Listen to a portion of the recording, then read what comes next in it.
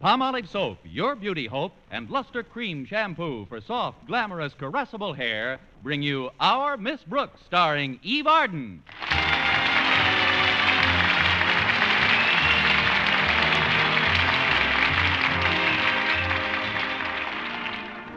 While he's not the over demonstrative type, most of the people who know biology teacher Philip Boynton find him friendly enough. Well, to our Miss Brooks, who teaches English at Madison High School, he's also friendly, but not enough. It isn't that Mr. Boynton doesn't have his moments.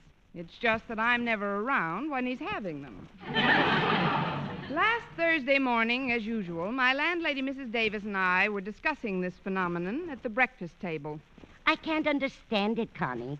You and Mr. Boynton have been going together for quite a while now, haven't you? Yes, indeed, Mrs. Davis. Let's see, we started dating the week he got his pet frog, McDougal. That was over two years ago. You mean you two have been going steady for the past two years? That's right, Mrs. Davis. I've been going steady with Mr. Boynton, and he's been going steady with McDougal.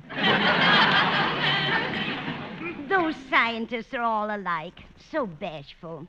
There must be something you can do to stir him up, Connie. Oh, I've tried everything, Mrs. Davis. I've even backed him into the Mixmaster. Did you? Did you really, Connie? No, but it's not a bad idea. Mr. Boynton is a lot like Mr. Mitchell, a scientist who used to take out my sister Angela. She's terribly absent minded, you know. Yes, I know. Even more so than my brother Victor. Although heaven knows he's forgetful enough, too. Yes, you've mentioned it to me, Mrs. Davis, but what about Mr. Mitchell, Mitchell? the scientist? What scientist? The scientist who took out your sister Angela. Imagine. Angela out with a scientist, and she never even mentioned it to me. Maybe she forgot. Forgot.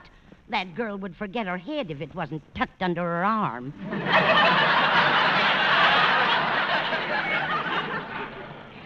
Uh, this is probably a mistake, but there's something I'd like to clear up. You mentioned when we were both quite a bit younger a certain Mr. Mitchell. You said he was a scientist and that he was a lot like Mr. Boynton. He certainly was, Connie. Now, if you've finished with breakfast, I'll clear away the dishes. That's what I like a story with no loose ends. Present company accepted. Oh, I'll get it, Mrs. Davis. That's probably Walter Denton. He's going to give me a lift to school this morning. All right, Connie. See you after school, dear. Good morning, Miss Brooks. Why, it's Mr. Boynton. Come in. Oh, I haven't time, Miss Brooks. I've got to stop at a laboratory supply house before I get to school. I just wanted to return this notebook. I found it in my lab yesterday. Your lab? Oh, yes, you left it there when you came to pick up the notebook you'd left the day before. This is getting pretty obvious. Maybe I'd better start forgetting my gloves. I thought you might need it for your first class, or I wouldn't have disturbed you so early. Oh, you're not disturbing me, Mr. Boynton. At least not any more than usual. Are you sure you wouldn't like to come in for a minute? Oh, no, thank you, Miss Brooks. I just heard that the supply house I deal with is a new batch of white mice. They just got in from Bolivia. Well, shouldn't you give them a chance to unpack? uh, maybe I could go along with you. I'll just leave word for Walter Denton that I'm riding to school with you. Oh, but I, I'm not driving, Miss Brooks. It's such a beautiful day, I decided to walk. That's what I say. I'll leave word for Walter that I'm walking to school with you. Well, you couldn't walk with me, Miss Brooks. I'm much too fast for you. Now, there's a nifty bit of overstatement.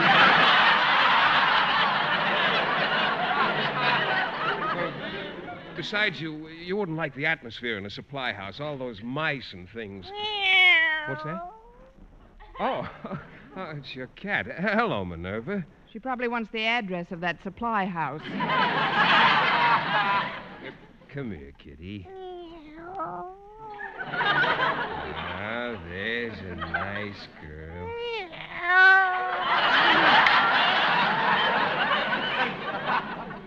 Oh, she sure loves it when I hold her and tickle the back of her neck. Move over, Minerva. Here, I'll take her. Now go on inside, Minerva. I'll give you some milk in a minute. Run along now. Mr. Boynton's much too old for you. You know, seeing Minerva like this reminds me of a joke one of my students told me. A joke? Yes. After class the other day, little Sid Silvers came over to me and said, Mr. Boynton, I know a lady who kisses cats. And I said, She kisses cats? What's her name? And he said, Mrs. Cats.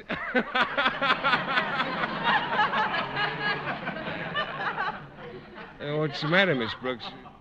Did, didn't you get it? Oh, I got it, Mr. Boynton. It's just that I've had all I want of it. Well, I'll be running along now. Uh, See you at school, Miss Brooks. You invited me to lunch today, remember? That's right. It's my turn. Last time we went Dutch. Who's there? It's me, Mrs. Davis. I haven't gone yet. Oh, then that wasn't Walter Denton at the door. No, it was Mr. Boynton. He just stopped by to give me this notebook and to tell me about a lady who kisses cats. Well, if there are any other ladies kissing cats, I think Mrs. Cat should know about it.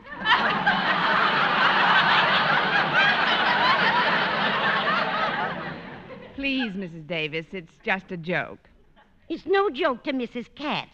After all the years they've been married. Oh, that must be Walter now. Coming. Well, good morning, Walter. It's more than a good morning, Miss Brooks. It's a heavenly morning, an exquisite morning, a delicious morning. Don't wrap it up. I'll eat it here. I feel as if I've been dancing on a sunbeam, tiptoeing on a rainbow, and wading through a cloud. Well, wipe your feet and come in a minute. Oh, hello, Walter. Well, if it isn't Mrs. Davis, lovely Mrs. Davis, scintillating Mrs. Davis, radiant Mrs. Davis. What's the matter with him? I don't know. He just got here. What are you so happy about this morning, Walter? It's l'amour, Miss Brooks. Wonderful, beautiful l'amour. Did you get a letter from her? What is all this? It's love, Miss Brooks. I can't sleep. I can't eat. Oh, that's too bad, Walter. I was just going to ask you if you'd like a little breakfast. Oh, what have you got? Well, I could make you some nice waffles. I'm afraid there's no time for that, Mrs. Davis. We've got to get to school. Oh, it's of no consequence. Food is secondary at a time like this. I'll just have a few eggs and some milk. You see, my breakfast was almost an hour ago. Poor kid, you must be starved.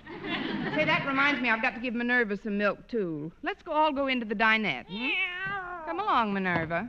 Is there anything I can do to help you in the kitchen, Mrs. Davis? No, you just sit right down here and talk to Miss Brooks, and I'll have your eggs ready in a jiffy. Ah, you're a peach, Mrs. Davis. Well, thank you, Walter. She is, Miss Brooks. She's a peach. A wonderful. I know, a wonderful, beautiful, fuzzy old peach. now, I wish you'd tell me whence comes this gaiety of spirit. From whence? Oh, from Harriet Conklin. That's whence. Well, she's a pretty nice little wench.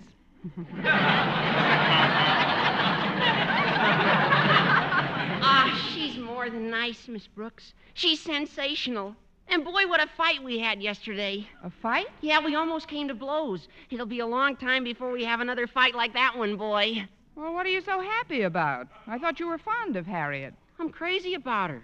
I see. You're crazy about her, so you almost came to blows. Hmm? Oh, don't you get it? The more bitter the battle, the sweeter it is making up.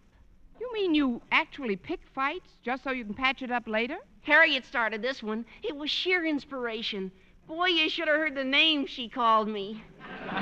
Name? Why, I don't believe Harriet Conklin would call anyone names, Walter. Oh, it wasn't really Harriet. She was quoting her father. He hates me, you know. Yes, I know. Besides, a good fight once in a while tends to make couples less sure of each other. A person can't take another person for granted if he or she is belting his or her brains out. This boy is another Kirk Douglas. Will you excuse me for a minute, Walter? I'd like to get Minerva her milk. Oh, certainly, Miss Brooks. Mrs. Davis, Yes, Connie, I'm just finishing the eggs. Walter's just given me a wonderful idea, Mrs. Davis. The trouble with Mr. Boynton and myself is that we take each other for granted. You take each other for granted. With one exception. I don't take him for granted. What I mean is, if I could get him into a good fight, he, he wouldn't be so sure of me. And then, too, think of what fun it would be making up. I think you've got something there, Connie. When are you going to pick this fight with Mr. Boynton? At lunchtime today, we have a date to meet in the cafeteria. Good for you, Connie. It just goes to show you there's more than one way to skin a cat. "meow!" Not you, Minerva, not you.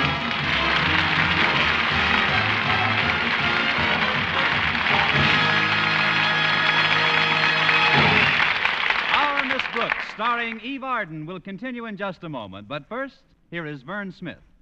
For bare skin beauty, it's Bat Size Palmolive with its famous beauty lather. Yes, Bat Size Palmolive for loveliness all over. There's something thrillingly new in this wonderful beauty lather of vast size palmolive soap. New fragrance, new charm, new allure. See if palmolive in your daily tub or shower doesn't leave your shoulders, arms, and back. Yes, all of you softer and smoother, completely lovelier all over. You'll thrill to the tender whisper of perfume it leaves on your skin. A whisper that says, Come hither to romance. And this new bath-size Palmolive is so big, so thrifty, economical to use because it lasts so long and gives so much soft, lovely lather so fast. That soft, lovely lather with its alluring new fragrance is Palmolive soaps alone. Palmolive's famous beauty lather. Yes, a new fragrance, new charm, new allure that can make every woman a vision of delight in the new revealing fashions that show so much more of you. So remember, for bare skin beauty, it's bath size Palmolive with its famous beauty lather. Yes, bath size Palmolive for loveliness all over. Get bath size palmolive soap tomorrow. Menfolk love it too.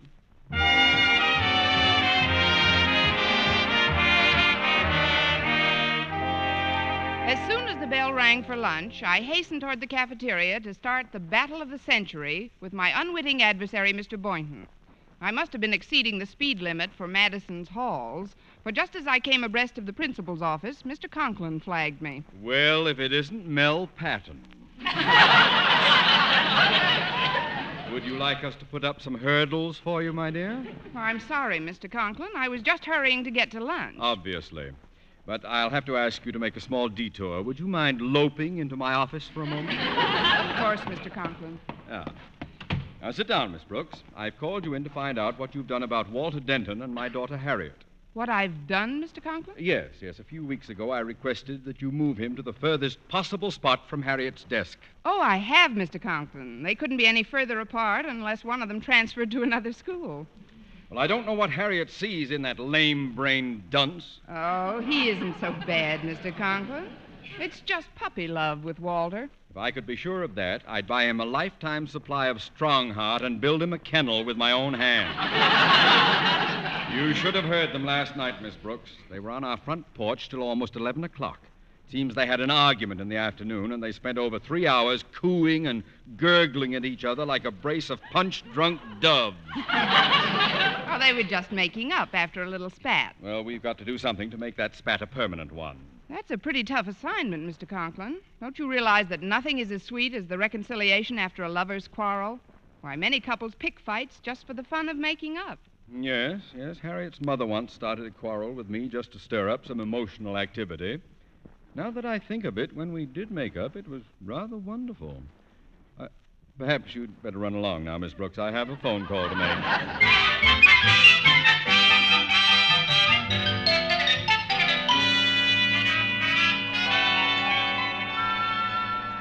Oh, Miss Brooks, here I am. Oh, hello, Mr. Boynton. I've been holding this table for us. It's right near the food counter.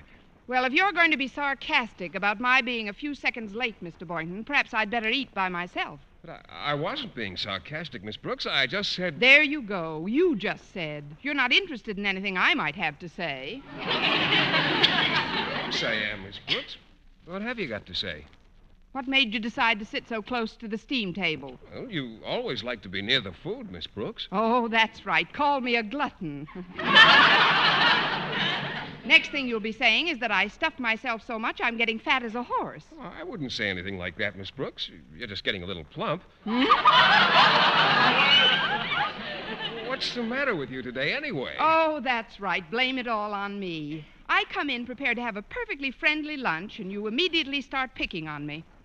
I don't know how you can say a thing like that, Miss Brooks. You mean you don't know how a person in her right mind can say a thing like that? That's what you were thinking. Don't deny it.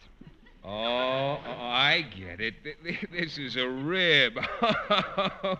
Say, you sure had me going for a minute there. I may have to bite him. uh, this is no rib, Mr. Boynton. Oh, excuse me, folks, but I have a rather important message for Miss Brooks. What is it, Walter? Well, Mr. Conklin wants to see you in his office right away. Oh, it's a shame you have to go now, Miss Brooks. You haven't had anything to eat, and the lunch period's half over. Here, you better have a few of these jelly beans.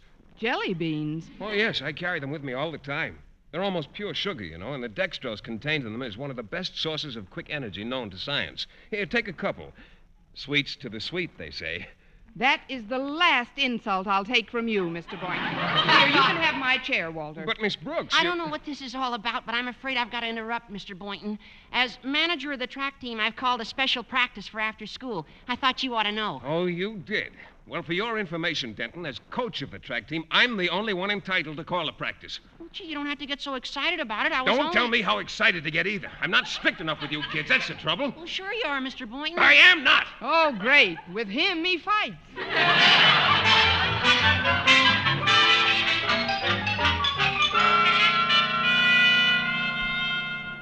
You sent for me, Mr. Conklin? Yes, Miss Brooks, I did. I wanted to report to you the result of my adopting your suggestion. My uh, suggestion? Yes. Yes, acting upon your conversational tip of a few moments ago, I called my wife Martha and started an argument with her. Really, Mr. Conklin? Do you think it worked? I think so, yes. Good. Miss Brooks, Yes. Martha has left me.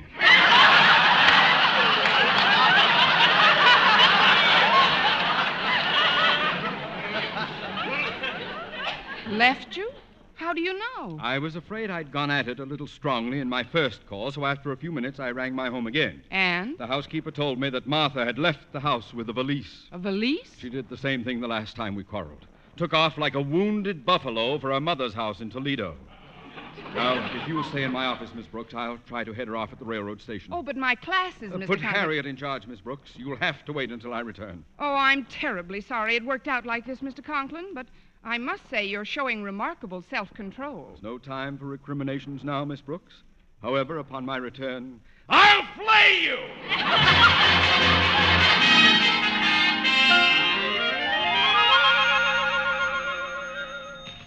Principal's office, Miss Brooks speaking. Oh, hello, Miss Brooks. This is Mrs. Conklin. Mrs. Conklin, where are you? Well, I'm in the luggage shop, Miss Brooks.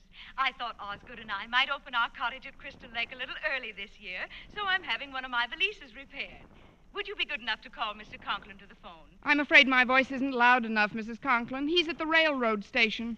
The railroad station? What's he doing there? Well, he thought you were peeved at him for having been nasty to you on the phone. So when your housekeeper told him you'd left with a valise, he presumed something drastic had happened, like the time you were wounded in Buffalo. What? Well, he thinks you're on your way to your mother's house in Toledo. So that's what he thinks. Well, it serves him right. You have no idea how he went out of his way to pick an argument with me, Miss Brooks. Oh, yes, I have, Mrs. Conklin. Well, instead of rushing over to the station and explaining the misunderstanding, I've a good mind to let him cool his heels for a while. Oh, but Mrs. Conklin, I feel partly responsible for what's happened. I'm sorry if I oh, Well, started. I'm not a bit sorry. A little emotional activity is good for any family. After all, even bees have to stop making honey sometime. I know, but I've started the activity in the wrong hive. Well, I'm, I'm going back home now, Miss Brooks. Why don't you drop over after school? We'll have a little bull session. Oh, he won't be back by then. I mean, I'd love to drop over, Mrs. Conklin. Goodbye. Goodbye. Miss Brooks, I'm surprised at you. Mr. Boynton, I didn't hear the door open. The door was open. I happened to be passing by and, well, I couldn't help but overhear your conversation with Mrs. Conklin. You heard it? Every word. Oh, well, I'll have a jelly bean now, Mr. Boynton.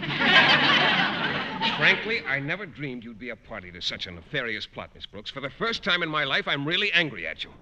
You are? Yes, I certainly am. Well. okay, so you're mad at me. You want to make something out of it, frog boy?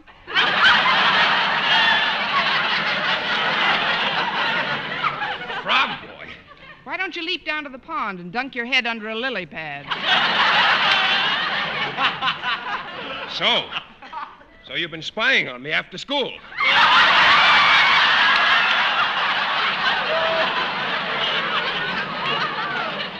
ah, your father's microscope.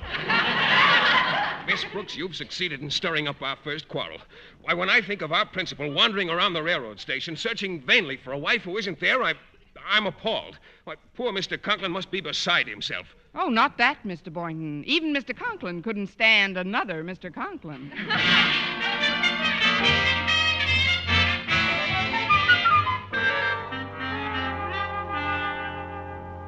I'm worried, Miss Brooks. It's almost 9 p.m. and still no word from Osgood. Maybe something's happened to him. Maybe I'll never see him again. Oh, please, Mrs. Conklin, take it easy. Well, how can I take it easy?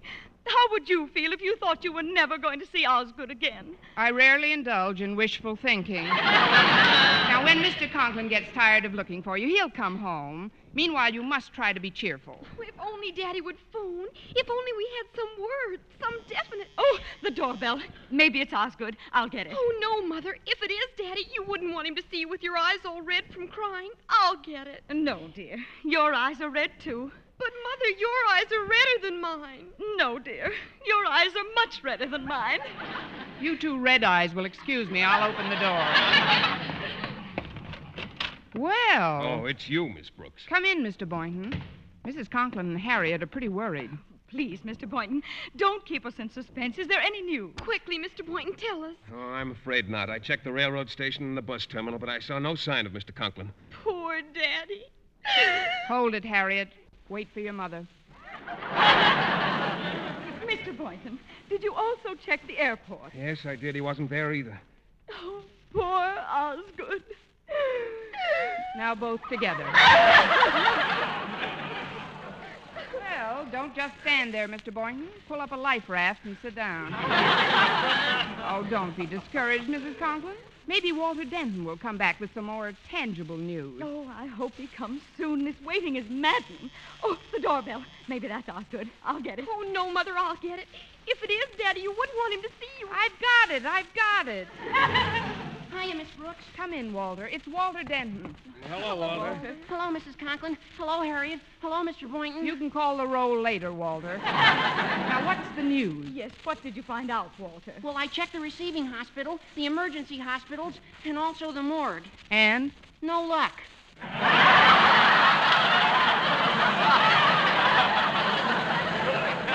Poor Osgood. Oh, dear. Oh, the phone. Maybe that's Osgood. I'll get it. Oh, no, Mother, I'll get it. If it is Daddy, you wouldn't want him. Hello, Mr. Conklin's residence. Miss Brooks speaking. How do you do, Miss Brooks? Mr. Conklin. Mr. Conklin. It's Daddy. Osgood. Must be a five-party line. Mr. Conklin, where are you? Where do you think I am? I'm in Toledo.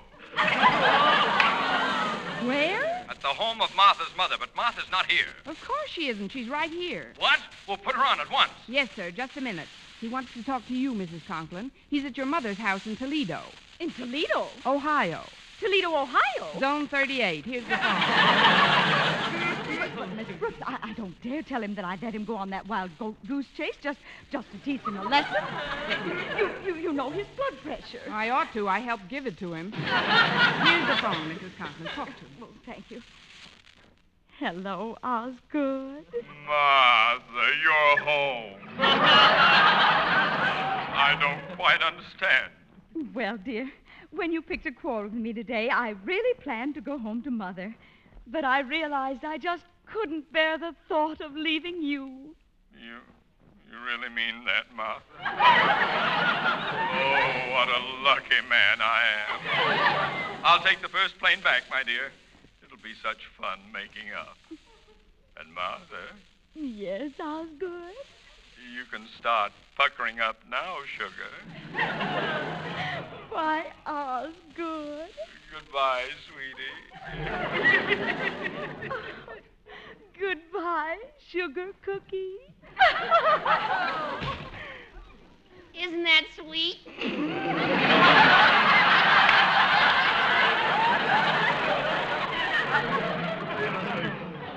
out to the porch, Harriet. We still got some making up of our own to do. All right, Walter. Now I'm going up to my room and have a good, happy cry. You've earned it, Mrs. Conklin, the day you were married. Well, Miss Brooks, we seem to have this living room all to ourselves. Shall we go to our corners and come out reconciling? Miss Brooks, I realize you really did nothing to gain my anger today, and, well, in a situation like this, actions speak louder than words. What are you driving at, Mr. Boynton? Hmm? Miss Brooks, pucker up Yes, Mr. Boynton. Hmm? and and close your eyes. Not me. I want to watch.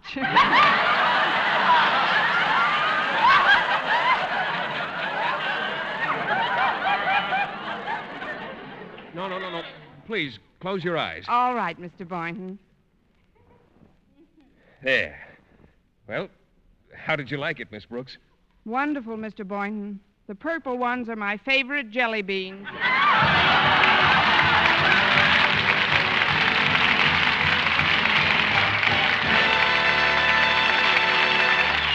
Arden as our Miss Brooks returns in just a moment. But first, Dream girl, dream girl, beautiful luster cream girl. Tonight, show him how much lovelier your hair can look after a Luster Cream shampoo. Only Luster Cream brings you Kay Daumit's magic formula blend of secret ingredients plus gentle lanolin. Gives loveliness lather even in hardest water. Glamorizes your hair as you wash it. Luster Cream, not a soap, not a liquid, but a dainty cream shampoo. Leaves hair fragrantly clean, free of loose dandruff, glistening with sheen, soft, manageable. Gives new beauty to all hairdos or permanents. Four ounce jar, one dollar. Smaller sizes, either tubes or jars.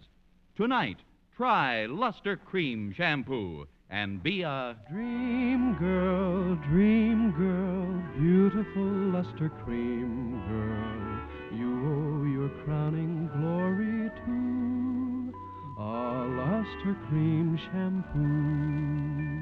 And now once again, here is our Miss Brooks.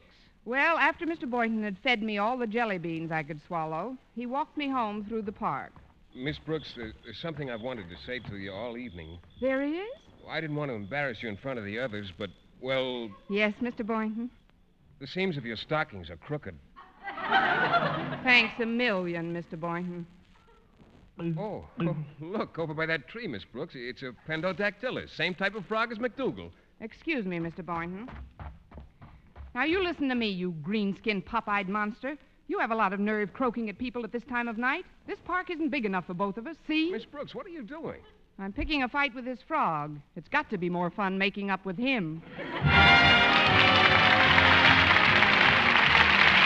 Next week, tune into another Our Miss Brooks show brought to you by Palmolive Soap, Your Beauty Hope, and Luster Cream Shampoo for soft, glamorous, caressable hair. Our Miss Brooks, starring Eve Arden, is produced by Larry Berns, written and directed by Al Lewis, with music by Wilbur Hatch.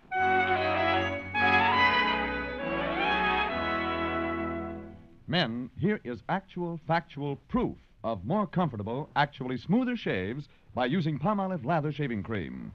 1,251 men tried the Palmolive Lather way to shave, described on the tube. And no matter how they shaved before, three out of four got more comfortable, actually smoother shaves. Try Palmolive Lather Shaving Cream. See if you don't get more comfortable, actually smoother shaves the Palmolive Lather Shaving Cream way. For mystery liberally sprinkled with laughs, listen to Mr. and Mrs. North, the exciting fun fact adventures of an amateur detective and his beautiful wife. Tune in Tuesday evening over most of these same stations. And be with us again next week at the same time for another comedy episode of Our Miss Brooks. Bob LeMond speaking.